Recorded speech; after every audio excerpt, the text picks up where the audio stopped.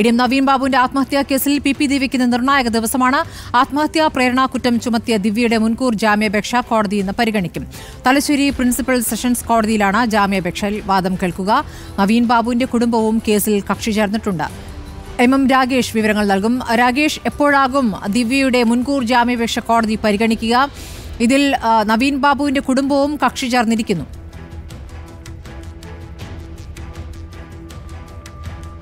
അതെ സ്മൃതി ഇന്ന് ഏകദേശം പതിനൊന്ന് മണിയോട് കൂടിയായിരിക്കും തലശ്ശേരി പ്രിൻസിപ്പൽ സെഷൻസ് കോടതി പി പി ദിവ്യയുടെ മുൻകൂർ ജാമ്യാപേക്ഷ പരിഗണിക്കുന്നത്. ഈ ജാമ്യാപേക്ഷ തള്ളുകയാണെങ്കിൽ അത് ശേഷമുള്ള പോലീസിന്റെ നിലപാട് എന്തായിരിക്കും എന്നുള്ളതാണ് ഇതിനകത്ത് നിർണായകം. ഒപ്പം തന്നെ നവീൻ ബാബുവിന്റെ കുടുംബവും ഇതിനകത്ത് കക്ഷി ചേർന്നിട്ടുണ്ട്. പോലീസ് സമർപ്പിക്കുന്ന റിപ്പോർട്ടിനെ തുടർന്നായിരിക്കും കോടതി ഇക്കാര്യത്തിൽ ഒരു തീരുമാനമെടുക്കുക.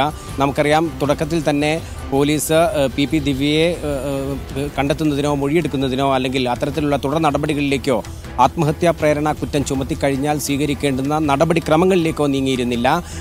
ഇന്നത്തെ കോടതി വിധി പി പി ദിവ്യയെ സംബന്ധിച്ചും പോലീസിനെ സംബന്ധിച്ചും നിർണായകമാണ്. ഈ കോടതി വിധിയിൽ പി പി ദിവ്യയുടെ ജാം മുൻകൂർ ജാമ്യാപേക്ഷ തള്ളുകയാണെങ്കിൽ അതിനുശേഷം എന്തായിരിക്കും പോലീസ് സ്വീകരിക്കുന്ന നടപടി എന്നുള്ളത് തന്നെയാണ് ഏവരും ഉറ്റുനോക്കുന്നത്. പതിനൊന്ന് മണിക്ക് ശേഷം കോടതി ചേർന്ന ചേർന്നതിന് ശേഷമായിരിക്കും എപ്പോഴായിരിക്കും കേസ് പരിഗണിക്കുക എന്നുള്ളത് നമുക്ക് വ്യക്തമാവുക. സ്മൃതി.